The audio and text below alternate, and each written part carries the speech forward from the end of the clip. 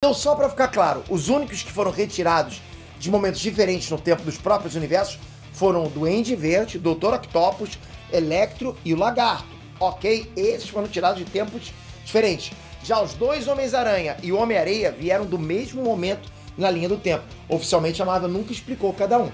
Até porque o destino dos personagens da Sony é a própria Sony quem vai decidir depois. E pelo que a gente viu em Morbius, eles também estão bem perdidos lá quanto ao multiverso já que o, o Abutre foi parar lá por motivos que até agora ninguém explicou.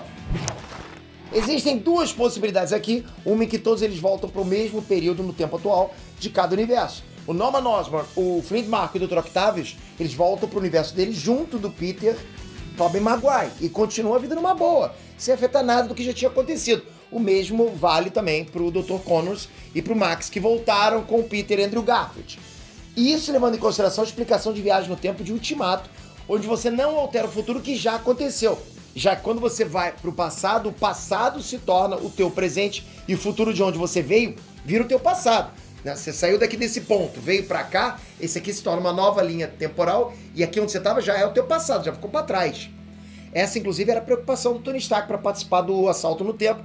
Ele não queria que a família que ele construiu nos cinco anos de Blip fossem destruídas caso alguma coisa fosse mudada no passado. Aqui a gente vai ver uma confusão enorme, porque Ultimato mistura viagem no tempo com teoria dos vários mundos e em momento algum fala de multiverso do mesmo jeito que é explicado a partir da série do Loki. Mas só para vocês entenderem, o que passou, passou. E só o presente importa, beleza? Bota isso na cabeça. Então, né, o Norman Osborn, nesse exemplo, vai ter que colher tudo o que ele plantou como Duende Verde, inclusive a morte do Harry. Do Octopus provavelmente vai voltar com os projetos de energia sustentável dele. Até porque tudo leva a crer que ele levou o reator Ark com ele para lá e o Flint Marco vai continuar sendo o Homem-Areia.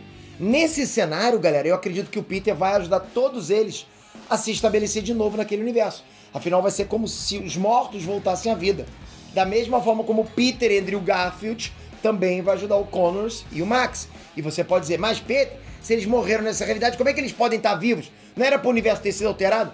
Aí a gente vai entrar em física quântica, nuvem de probabilidade, né? Para no final a gente entender que as duas probabilidades são válidas.